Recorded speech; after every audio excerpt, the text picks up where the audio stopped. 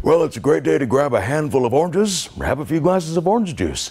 It's National Vitamin C Day. Vitamin C helps ward off colds, reduce blood pressure, even lower the risk of heart disease. It also helps keep skin healthy by protecting it from sunlight, heat, and pollution. So here's to vitamin C, one of the key nutrients that keeps us healthy.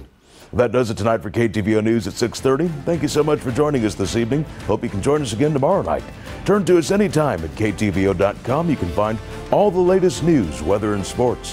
Have a tip, a comment, or a concern? Reach out to us on Facebook or Twitter, or shoot us an email, news at KTVO.com. Have a wonderful evening. Coming up next, CBS Primetime.